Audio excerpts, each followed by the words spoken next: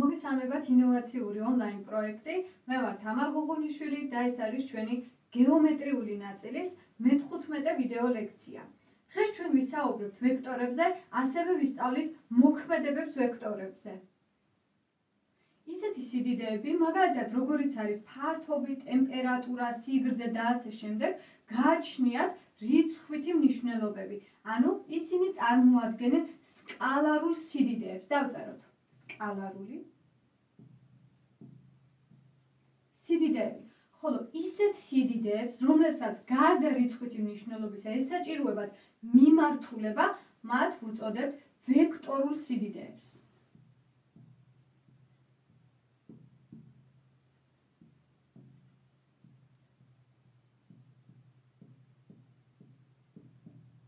მაგალითად, მოვიყვანოთ რა არის ვექტორული სიდიდე. ძალა, რომელიც მოდებულია სხეულზე. ძალა შედგება ორი მახასიათებლისგან. ეს არის ძალის სიდიდე და მეორე, ეს არის მიმართულება.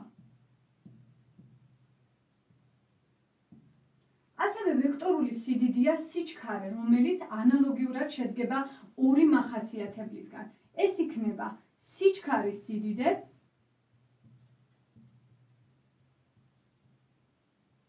და მეორე ეს იქნება მიმართულება.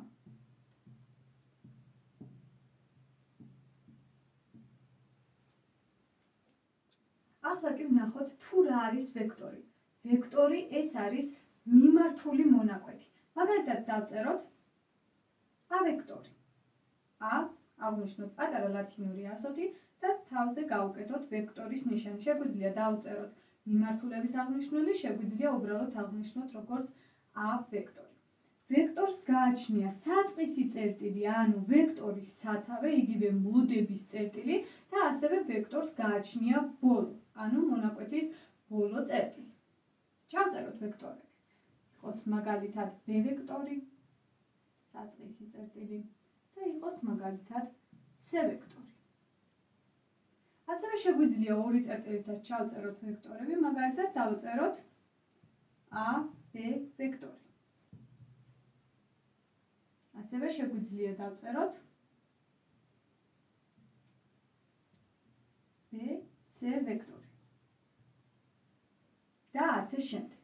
თუ ვექტორის საწყისი და ბოლო წერტილი ერთმანეთს ემთხვევა, ამ შემთხვევაში ვიტყვით, რომ ჩვენი ვექტორი არის ნულოვანი. და დავწეროთ ნულოვანი ვექტორი ჩაიწერება შემდეგი სახით 0 და თავზე ის არის. ვიტყვით რომ ვექტორი ეკუთვნის წრფეს თუ მისი საწყისი და ბოლო წერტილით ეკუთვნის ამავე წრფეს.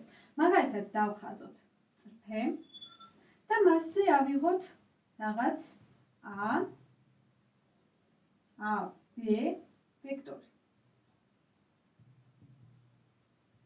ვიტყვით ამ შემთხვევაში, რომ AB ვექტორი ეკუთვნის წრფეს.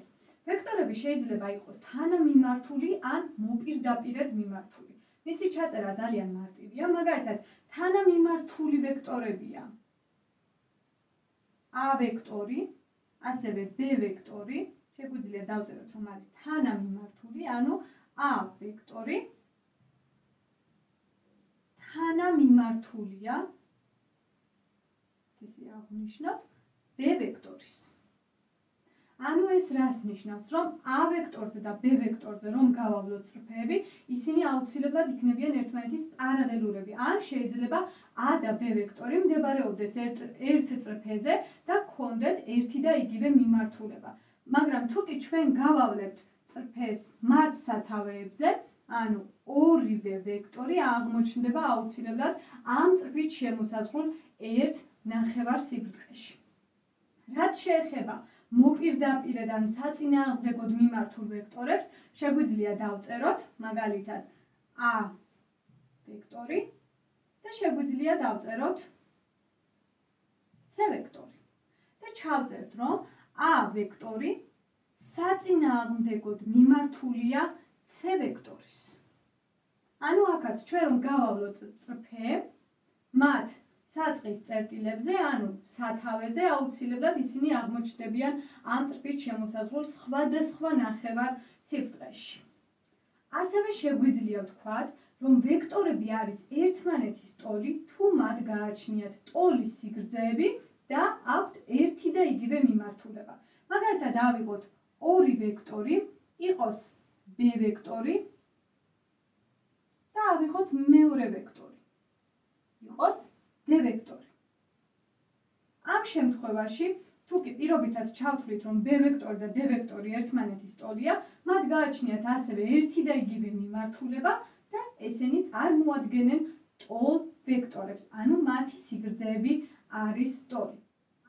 ახლა კი მოდით ვისწავლოთ ვექტორების შეკრება და ვნახოთ გეომეტრიული ილუსტრაცია. იმისათვის რომ შევკრიბოთ ვექტორები, შეგვიძლია გამოვიყენოთ ორი წესი. პირველი ეს არის სამკუთხედის წესი, ხოლო მეორე შეგვიძლია ვცადოთ პარალელოგრამის წესი. მოდით ავიღოთ ორი ვექტორი და ვცადოთ მათი ჯამის გამოთვლა. მაგალითად, პირველი ვექტორი იყოს შემდეგი სახით a ვექტორი და ავიღოთ ასევე მეორე ვექტორი, ანუ b ვექტორი. გვაინტერესებს თუ რა იქნება a ვექტორის და b ვექტორის ჯამი. ამისათვის აუცილებელია, რომ a ვექტორის ბოლოს მოვდოთ b ვექტორის სათავე და გავავლოთ ზუსტად იგივე ტოლი მონაკვეთი. b ვექტორი ახლა კი ავიღოთ რაღაც c ვექტორი, რომლის სათავე იქნება a ვექტორის სათავე, ხოლო რომლის ბოლო იქნება b ვექტორის ბოლო. და დავაწეროთ c ვექტორი. ამრიგად c ვექტორის სიგრძე ტოლი იქნება a ვექტორს დამატებული b ვექტორი. ესეც ჩვენი სამკუთხედის წესით გამოთვლა. ახლა კი მოდით ვნახოთ მეორე პარალელოგრამის წესით თუ როგორ შევკრიბოთ ვექტორები. მაგალითად, კლავაც მოცემული გქონდეს რაღაც a ვექტორი და მოცემული გვაქვს რაღაც b ვექტორი. a ვექტორის სათავეს მოვდოთ b ვექტორის სათავე. დავწეროთ b ვექტორი და შევკრათ პარალელოგრამი.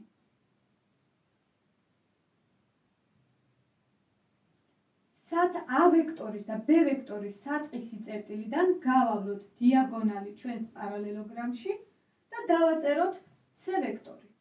ამრიგად c ვექტორი ტოლი იქნება a ვექტორის და b ვექტორის სიგრძეთა ჯამის. ახლა კი ვნახოთ თუ რას მივიღებთ ვექტორის რიცხვზე ნამრავლის დროს. მაგალითად, მოცემული გქონდეს a ვექტორი და ეს გავამრავლოთ რაღაც ლამდა სიდიდეზე.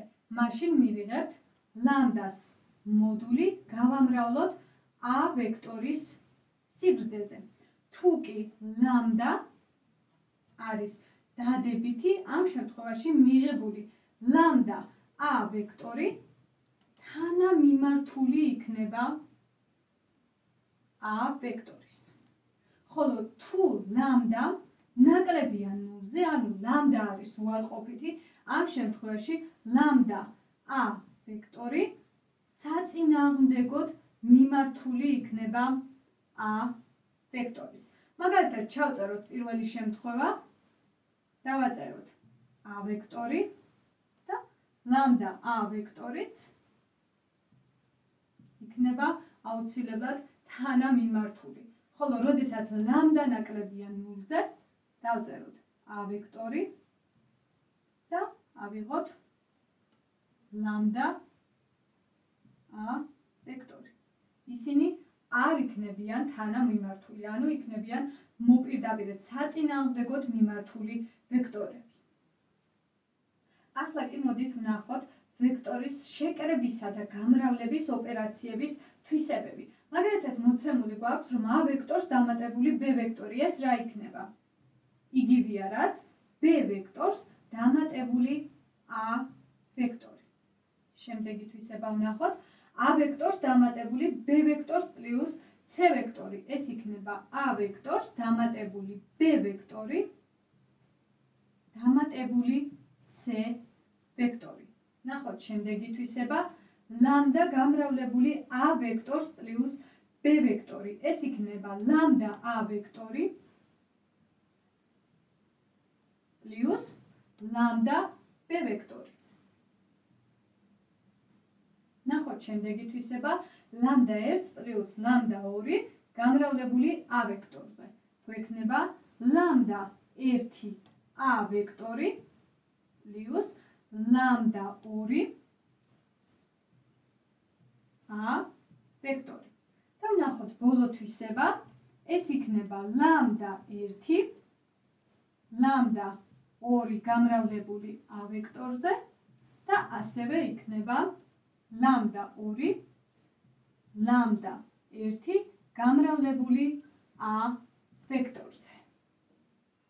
მე-15 ვიდეო ლექციისთვის მოკლედ ვექტორებზე სულ ეს იყო. მომავალ შეხვედრამდე